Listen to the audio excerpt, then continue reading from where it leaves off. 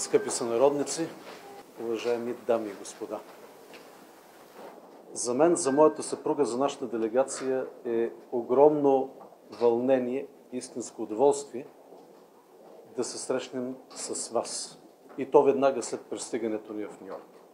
И то в деня, в който отбелязваме 111 години от нашата независимост. Затова ще започна с честит празник на всички.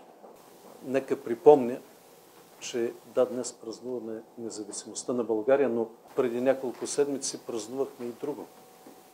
Съединението на България.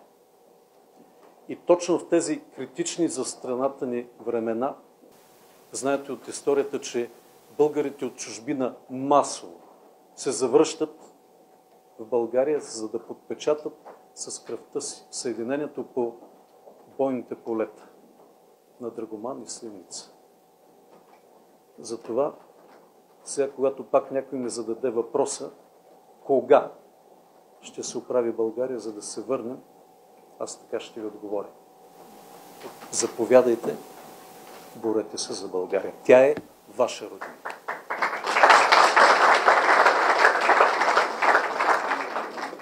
Отправих обращение към народа и към Народното събрание.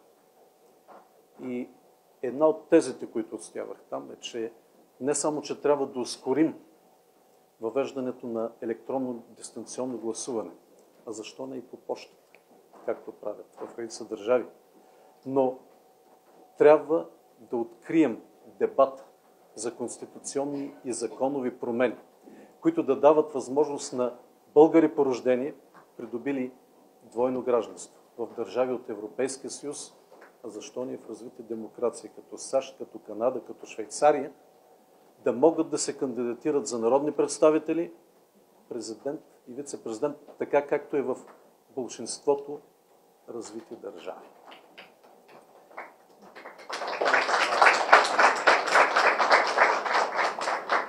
Защото все повече българи, ето вие сте доказателство, все повече българи са зад граница.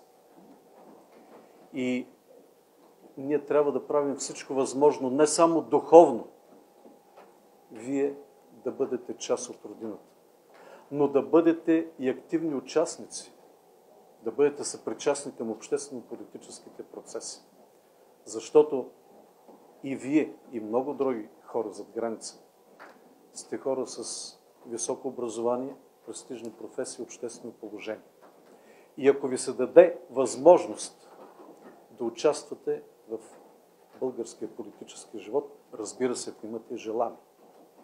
Аз съм убеден, че опитът и знанията на хора като вас, и то придобити в а, страни с много по-развити економически, политически, социални системи, ще бъде изключително полезен за България. Вие ще имате един стимул да се върнете по-бързо.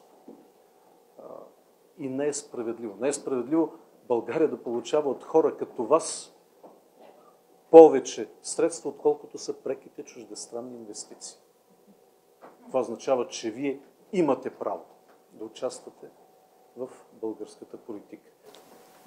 Трябва да имаме много по-голяма свобода на медиите, трябва да имаме върховенство на закона, трябва да имаме прозрачни, отчетни и отговорни институции, които да работят в интерес на гражданите и най-вече трябва да имаме активно гражданско общество, овластено за по-голямо участие и контрол в управлението на страната.